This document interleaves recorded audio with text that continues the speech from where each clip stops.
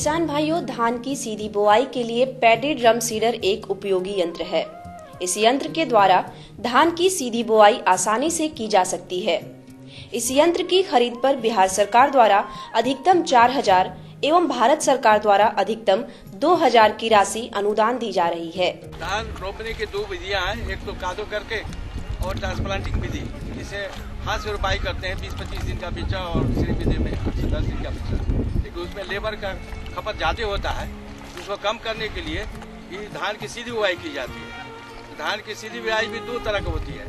एक तो कादो करके उसमें बोते हैं और एक तो छीटा भी करके बोते हैं, बिना खेत को जोते हुए भी, बिना पानी लगाए हुए भी सीधी बुआई करते हैं। जहाँ पानी की सुविधा नहीं है। तो वर्षा होने पर वो जम जाता है। यहाँ पर आप लोगों के सामने जो है, वो कादो करके सीधी बुआई करने का यंत्र है। बीस सेंटीमीटर पर बीज खींचे जाएगा और गिरने के बाद फिर देखेंगे पंद्रह बीस दिन के बाद घास आएगा। तो घास आने पर एक वहीं पर आपको कोनोवीडर है। कोनोवीडर से उसमें बीज पर चलाते जाइए तो घास को भी उसी में मिलाते जाएगा। और उसको बीज को बाहर नहीं फेंकिए, उसी में मिला दिए तो ऑर्गेनिक बैटर भी ऐड करेगा। इसके साथ साथ भी रसायन की दवा भी है। रसायन दवा डालिएगा बूटा किलो डालिएगा, एक किलो पट्टी के हिसाब से। बारह, दस बारह किलो बालू मिलाकर उसमें छीट दीजिए तो घास को जमने भी नहीं देगा। तो सीधी बुआई में यही होता है कि घास ज़्यादा निकलता है, लेकिन इसमें पानी खेत में बराबर रखे रहेंगे तो घास पतवार की समस्या भी कम होगी। ऐसे बहुत इसमें उम्र, बिचड़ा का उम्र, और धान का बिचड़ा का उम्र, और खार पतवार का बिचड़ा का उम्र एक ही है, एक ही साथ में जमेगा तो कंपटीशन भी ज़्यादा करेगा। तो है कि उस पर खर पतवार का नियंत्रण सावधानी रखिए, खेत में हल्का पानी रखिएगा बीज कम आएँगे। एक टिक बीज छोटा मोटा तो उसको टूकोडी दवा भी है, उसी भी देकर छीट दीजिएगा, समूचा खर पतवार मर जाएगा। ये है ट्रैक्टर चालित ओनियन ट्रांसप्लांटर यंत्र। इससे प्याज की बुआई की जाती है। इस यंत्र द्वारा एक घंटे में आधे एकड़ ज़मीन में प्याज की बुआई की जा सकती है।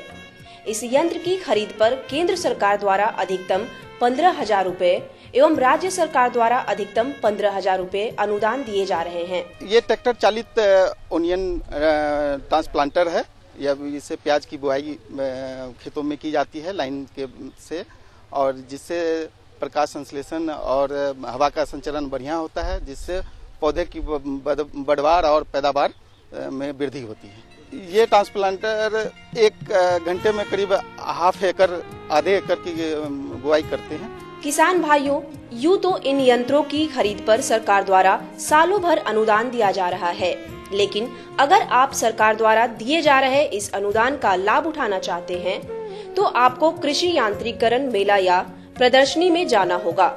सरकार समय समय पर जिला स्तर या राज्य स्तर पर प्रदर्शनी का आयोजन करती रहती है। आज के अंक में बस इतना ही। अगले अंक में फिर मिलेंगे किसी नए विशेषज्ञ के साथ किसी नए विषय को लेकर। तब तक के लिए नमस्कार। क्या करूँ? हाँ हाँ मैं ऐसे ही करूँगा। हाँ। अच्छा मैं जा रहा हूँ। अच्छा। जी जी जी। हाँ। जी जी जी। किससे बात कर रहे थे इतना हंस हंस कर किसान कॉल सेंटर। विशेषज्ञ से खेती के बारे में सलाह ले रहा था। सुबह भी रात को भी? किसान कॉल सेंटर सुबह छह बजे से रात को दस बजे तक खुलता है। रविवार को भी? हाँ भाई साल के तीन सौ पैंसठ दिन खुलता है। और इतना फ़ोन का बिल कौन भरेगा? अरे किसान कॉल सेंटर की सेवा मुफ़्त है। पर तुम ये सब क्यों पूछ रही हो? मैं तो कुछ और ही समझी थी। किसान भाई, कृषि संबंधित समस्याओं का अपनी भाषा में तुरंत समाधान पाने के लिए पूरे भारत में किसी भी फ़ोन से राष्ट्रीय हेल्पलाइन नंबर एक आठ शून्य शून्य एक आठ शून्य एक पाँच पाँच एक आरोप संपर्क करें। किसानों का दोस्त, किसान कॉल सेंटर।